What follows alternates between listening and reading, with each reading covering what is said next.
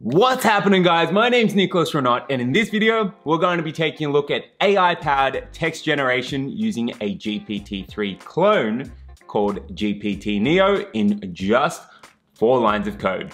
Let's take a deeper look as to what we'll be going through. So first up, what is GPT-3? Well, GPT-3 is a deep learning powered language model trained on 175 billion parameters by OpenAI. Now this means that it would take a huge amount of time to train something as sophisticated as this on a consumer GPU.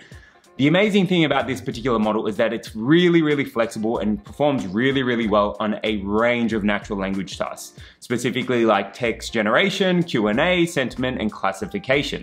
Now, the unfortunate thing about GPT-3 is that it is only available through a closed beta. The great thing, however, is that you're able to leverage a GPT-3 clone called GPT Neo. Now, the model that we're going to be taking a look in this particular video is trained on 2.7 billion parameters. So it's not exactly the 175 billion parameter model that OpenAI built, but it is really, really sophisticated and you'll see that a little bit later. So let's take a look as to what we'll actually be going through. So first up, what we're going to be doing is installing GPT Neo. So GPT Neo is going to give us a GPT-3 clone, which is trained on 2.7 billion parameters and can definitely be fine tuned. So if you'd like to see a video on fine tuning this, by all means, do let me know. So once we've installed it, we're going to be able to generate text in just four lines of code. So it's really, really straightforward. And what we'll also do is we'll save that output to disk so you can pick it up as a text file and leverage it later on. Now you're probably thinking, how is this all going to work? Well, let's take a look. So first up, what we're going to be doing is we're going to be leveraging the Hugging Face Transformers library to load our pre-trained GPT Neo model. Then we'll pass through a text prompt. So say, for example, we might ask, what is the meeting to life, import pandas as PD if we wanted to generate Python code. We could even generate some SQL statements as well. And then once we've generated that text, or once our model's generated that text, we'll then be able to output that result to a text file using a standard Python with statement. Ready to do it? Let's get to it. Alrighty guys, so in order to get started with GPT Neo, there's going to be four things that we need to do. Now we're going to keep this tutorial relatively short and sharp. We're just going to power through it and ideally by the end of this, you should be able to get up to speed with GPT Neo and start generating some of your own text. So the four things that we need to do are install and import our dependencies, set up our pipeline or our generator, then pass through some text and generate text using a prompt. And then what we're going to do is output that text and save it to a file. So first things first, let's go on ahead and install and import our dependencies. Now, the first dependency that you're going to need is PyTorch. So the easiest way to install this is if you just go over to the PyTorch website, so pytorch.org. And again, all the code for this, as well as links to relevant documentation will be in the description below, so you can pick this up and run with it. So what we're going to go on ahead and do is go to the PyTorch website, and then towards the bottom, you're going to see this section called Install PyTorch. Now, all we need to do here is choose the build that we want. So we're going to choose stable in this case. Choose your operating system. In this case, I'm on a Windows machine, so I'll choose Windows. Choose what package you want to install. So I'm going to use pip, but you could use conda as well if you wanted to. In this case, we're going to be working with Python, so we're going to choose Python. We're leveraging GPU acceleration using CUDA 11.1. Now, GPU acceleration really isn't going to kick in unless you've got a massive GPU that's able to handle this particular model, but that's fine. We'll install it using CUDA 11.1 anyway. So once we've got that, you're sort of going to get this command down the bottom here. So I'm just going to copy this and paste it into my notebook.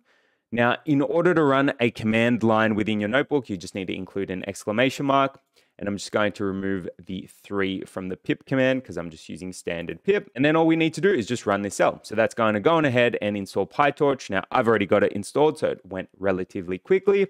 So that's our first install done. So installing PyTorch. Remember, all you need to do is go to pytorch.org, select your different options and copy that command, run it in a cell. Now, the next thing that we need to do is actually install Transformers. So Transformers is a really powerful and probably one of my favorite natural language processing libraries. And the beautiful thing about Transformers is that you get a bunch of these pipelines. So you get a conversational pipeline, feature extraction pipeline, text generation pipeline, a translation pipeline, a whole bunch of pipelines that allow you to leverage really, really sophisticated NLP models relatively easily. So we're going to be using Transformers exactly for that. So let's go on ahead and install Transformers. So this one's relatively straightforward. So in order to install transformers, all we've gone and done is run exclamation mark pip install transformers, and that's going to go on ahead and install all of this good stuff here for us. So those are our two dependencies now installed. Now all we need to do is import our main dependency, which is going to be transformers. So let's do it.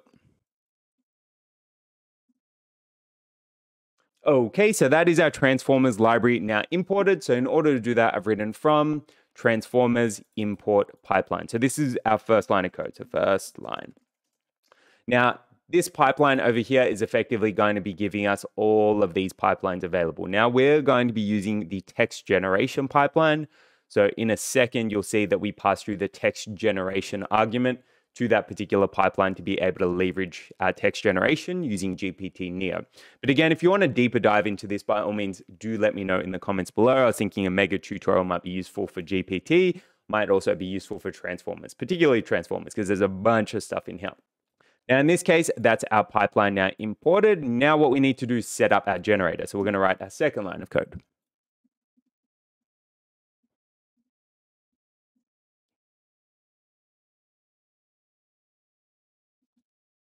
Alrighty, that's our second line of code now done and dusted. So this line of code here is actually going on ahead and loading up our GPT Neo model, which is going to give us our GPT-3 clone.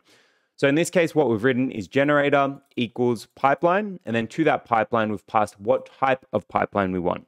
In this case, we're going to be leveraging the text generation pipeline. So to do that, we've written inside of a string text dash generation. And then I've passed through a comma. And then I've passed through a keyword parameter.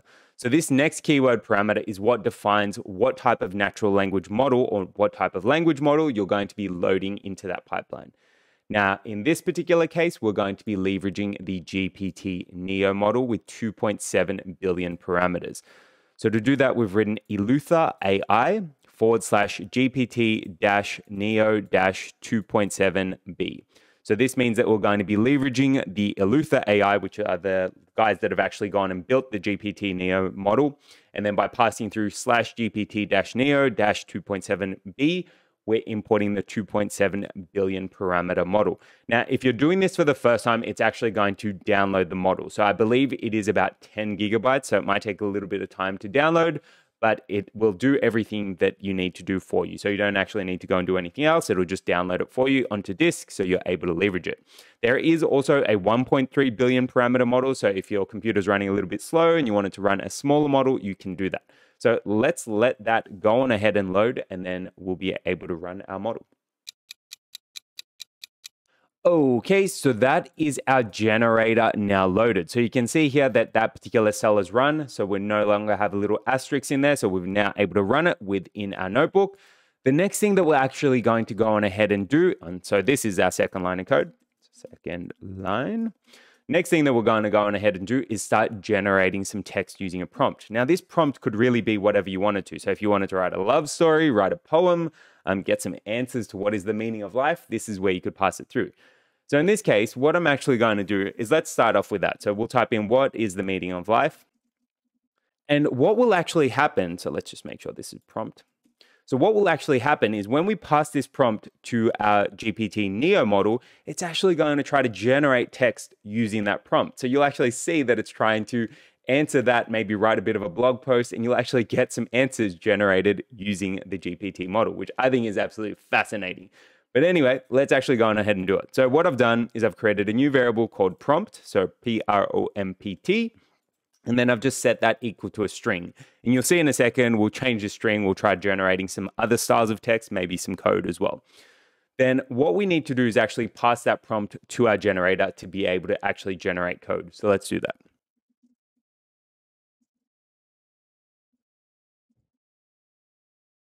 Alrighty, before we go on ahead and run that next line of code, let's take a look at what we actually wrote. Let's actually include some additional cells so we can see this. So this is our third line of code up here. This is our fourth line. So after this, we'll actually have our generated text, so fourth line. Now, in this particular case, what I've gone and done is created a new variable called res for results. And then I've set that equal to our generator. So in this case, you can see that we set up our generator here. What we're doing now is passing some arguments and keyword arguments to that particular generator to generate text. So here, what we've gone and written is generator. And then to that, we've passed through our prompt, which is this string over here. Then we've just gone and set some keyword arguments. So you can play around with these if you wanted to, and this will influence the results you get back. So the first argument is max underscore length equals 50. So this defines how long your output is going to be. In this case, I've set it to a limit of 50. Then I've passed or 50 words. Then the next keyword argument is do underscore sample equals true. So this is going to allow us to leverage sampling within our model.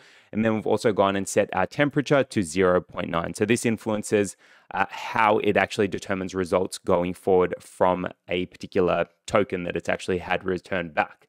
So again, you can play around with these parameters, uh, tune them, play around, take a look at the documentation. Again, this tutorial is going to be super fast, so we're not going to delve into it too much. But on that note, let's go on ahead and run this line and generate our text. Okay, so that line of code is now run. Now, the speed of which that actually generates is really dependent on your machine. So in my case, it took about 20, 30 seconds to generate a string with a max length of 50 words. But in this case, if you were to pass through a higher maximum length number, it will take longer. Now, what we can actually do is take a look at our results. So if I type in res down here, you can actually see that it's gone and generated this big block of text. So you can see that it's gone and says, what is the meaning of life? Why does it matter? Oh, it's not exactly that happy in the moment. Where do I go to find the meaning or at least some sort of explanation for what I'm experiencing here and now? I've been asking this a dozen times now. Now, if we actually go and pass this result, so if we grab the first result and type in dot generated text, this is actually going to give us our raw string. So you can see, and if we print this out, we'll get our string formatting. So you can see we've actually got our line spaces. So in this particular case, just by passing through this short prompt, we've gone and got this entire result out. Now, if we wanted to generate more text, we can just change the maximum length. So say I set it to 100, run that again. We're going to get a longer string generated. So let's let that go on ahead and run, and then we'll ideally get a longer answer to what is the meaning of life. There you go. So it's now gone and generated a new block of text. So all we really did there is we changed the max length parameter. And in this particular case, it's gone and generated a bigger block of text. So what is the meaning of life? So it still starts out with our prompt. In a recent conversation with a friend, I heard him say, you must go through life with the attitude that you are never going to leave. I had to check on whether he actually said this to me or if it was in the form of a quote or something similar. I decided to find the original source of this quote after reading about it in a book on self help quickly found a website. So in this case, it's writing a slightly different, uh, it's going down a completely different route. But again, this is just a random prompt. So say, for example, we wanted something a little bit more contextual aware. So I'm going to set our max length back to 50. And what if we said something about Bitcoin? So if we said Bitcoin is going to, and then ran that particular prompt. So if we run that now, let's go and see what GPT Neo now generates. There you go. So it's now gone and generated a new text. So if you take a look, it's gone and written Bitcoin is going to be the most important currency in 2020. The crypto market is on the rise, and Bitcoin has gone from a joke in late 2016 to the world's favorite cryptocurrency in 2018. Well, it's not wrong. I mean, 2021, and it's super popular. There's been a massive rally in 2018 and 2019. And again, we've cut it off at 50, but you can see that it's actually generating some really, really interesting text results. Now, you could use this to generate blog posts, maybe write a song, write a poem, so on and so forth. But my particular favorite thing is actually using it to write some code. Now, I was testing this out earlier this week and I, I thought it was super fascinating. So instead of writing our prompt as text, what happens if we wrote one of the most common lines of code that I wrote? So import pandas as PD and run that now. So let's go and see if it actually goes and generates some valid Python code. And there you go. So what it's actually gone and written is import pandas as PD, which was our original prompt. But then it's gone and passed through a bunch of additional imports. So from collections, import counter, import OS, import sys, import numpy as NP. So it's almost like it's importing some pretty standard uh, data science libraries. I mean, the fact that it's got NumPy, it's got time, got NLTK down here. So you can see that it's actually really, really contextually aware. Uh, and it's able to generate a whole bunch of stuff. I'm probably going to be playing with this all weekend, but you can sort of see what's possible with GPT Neo. Now, if you wanted to go on ahead and export this text, you could do that really easily. So let's go on ahead and do that.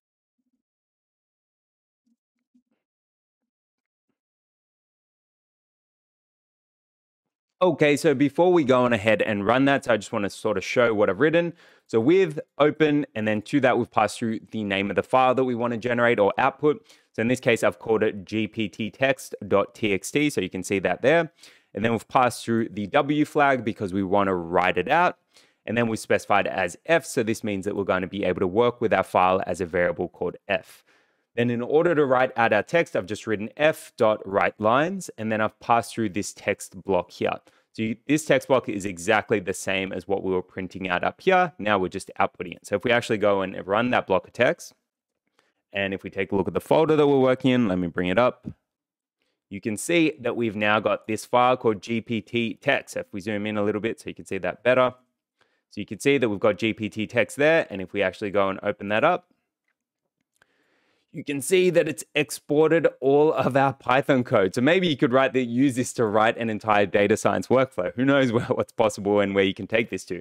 And again, if you wanted to use a different prompt, so say, for example, we uh, wrote something about um, the current stock market, current stock market, and just run that we could now go and export different blocks of text. So again, whatever you pass through in that prompt, this particular workflow is going to output that to a text file.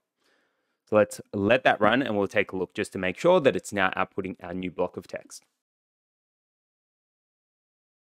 So there you go. So what we've now gone, or what GPT's now gone and written, so is the current stock market is a unique market in that it incorporates some fundamental market characteristics, correct, uh, together with market psychology, human judgment, and human biases such as market timers, price momentum, and crowd psychology.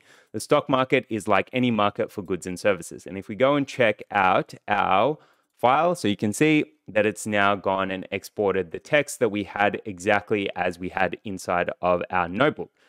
Pretty cool, right? So this sort of shows you what's possible with GPT Neo in a nutshell. Now, again, all we did is we installed and imported our dependencies. So we went and installed PyTorch and transformers, and then we wrote four lines of code to allow us to go and generate our new blocks of text using GPT Neo.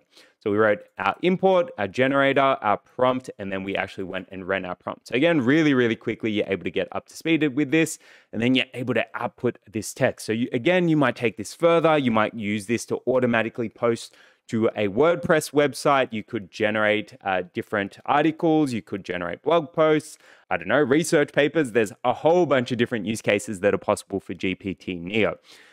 On that note, that about wraps it up. Thanks so much for tuning in guys. Hopefully you enjoyed this video. If you did, be sure to give it a thumbs up, hit subscribe and tick that bell and let me know how you went with leveraging GPT Neo. I'd love to hear your thoughts. Thanks again for tuning in. Peace.